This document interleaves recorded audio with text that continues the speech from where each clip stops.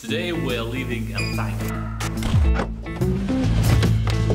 So this is going to be fingers crossed that the bike fits, hopefully. And it's worth mentioning that not only the bike, but everything else as well. Try to use the bike bag when you can use just the rack. We'll see how it goes. Not a good idea.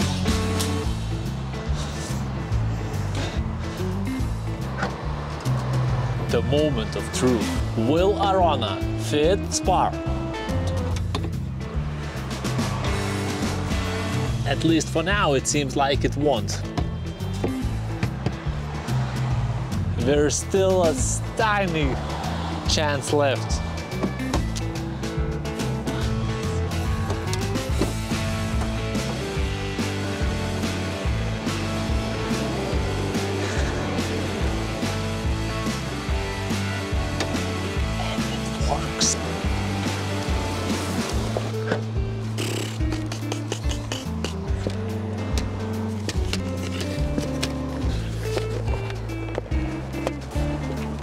I enjoy this process? Yep, not. Like it's born to be here. That's how it goes. Everything is packed somehow. And we are off to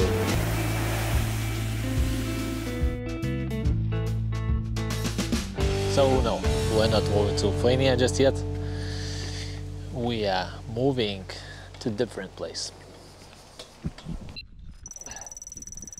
So eventually we appeared a bit up to the north, near Tacoronte, Guamasa, around this region. We decided to extend this work and travel thing uh, for another month in Tenerife because, well, we kind of really liked it. The reason being why I explained quite a lot about the weather and overall conditions during the first month in El Tanque, north and west part of Tenerife, is because everyone believes, mostly, that if you go towards the south during the winter, you go straight into the summer. So it was a way to explain that it's not actually the case. Not much has changed here around the Tacoronte region because it's also around 600 meters of elevation up. It's more or less between Anaga and La Esperanza area. The reason we chosen this place is because there was nothing much left to choose. We waited up to the last moment to decide where to go and while we've been waiting, all places were gone. During the February in Tenerife, Santa Cruz, there is a carnival second largest in the world happening, so you can imagine that people coming from all over the places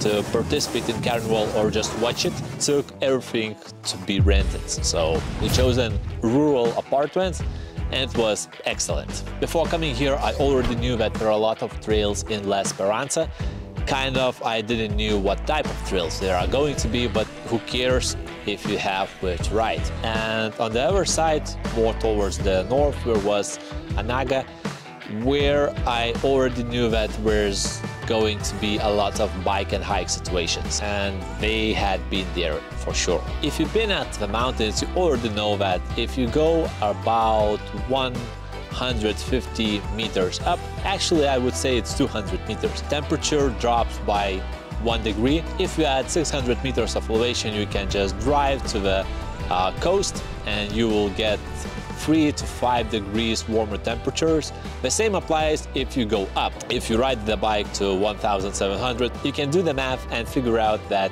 might be a bit too cold to ride. One way or another, I explored quite a lot in this area and you can have a look at my heat map of this February in Tenerife North. There were successful moments from riding where I normally wouldn't ride to hiking the bike where I would normally hike with proper shoes and not into B shoes, but everything is just yet another way to explore an island and experience those moments. The funny thing is that sometimes you get to situations where you use a bit of explicit words and you wouldn't repeat it in the near future. But once you come back home, you look at the footage and you understand that, well, sometimes it's not about the distance traveled, but how you travel that distance. With that in mind, even if something goes wrong, it's not necessarily the bad thing. Of course, if you come to such place to just train and uh, prepare for a season only. Uh, that way you should avoid all those uh, unridden pathways and just go based on the heat map of what others ride and you will be good to go. What's good about the bike Scott Spark RC Pro is that it lasted without any issues. I kind of just used a few pair of brake pads, changed the rotor of the rear, yeah, the brakes bleeding which I already mentioned, and last thing is that I had to replace the rear tire. I came here with Continental's uh, Cross Kings and the rear kind of lasted for 1300 almost became slick so I changed it uh, without the normal floor pump and I have a video about it as well but in general it just did wonders.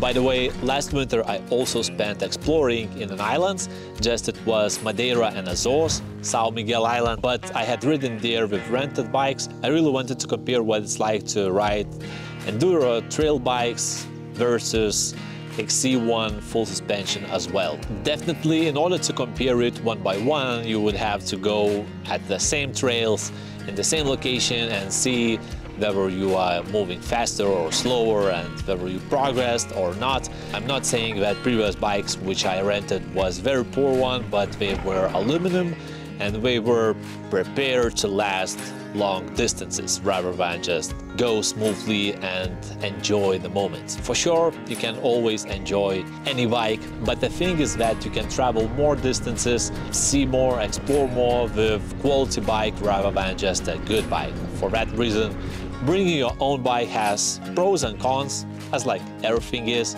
but if I would have to choose next time, probably I would still bring my own bike and even though it requires traveling, packaging, bags, and all that stuff, in the long run, it's not about the uh, financial expenditure, but uh, the pleasure you receive by riding it. So it was a good match. As for the north and west part, I'm going to create videos which will reflect my riding experience in Tenerife's north, this time really north. It will give you a bit of a sense what to expect here, uh, what to take into account and all that stuff than doing that. Some questions how I create the routes, whether I just copy what others ride here or I do a route myself. I'm going to cover this as well in depth, but in general I'm using Strava routes most of the time, uh, just in the morning or day before start preparing the route for the next day and that's kind of it. Simply because if you prepare a lot of routes up front, like let's say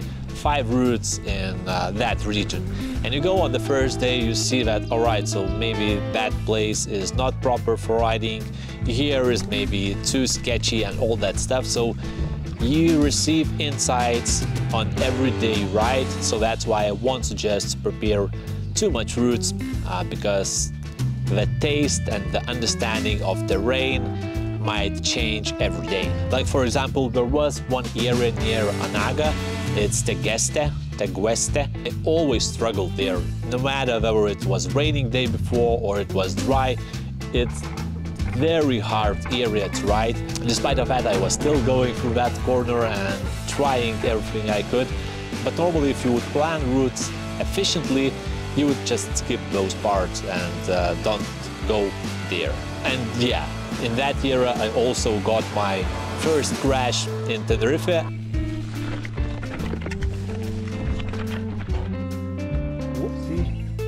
actually it was kind of the only one.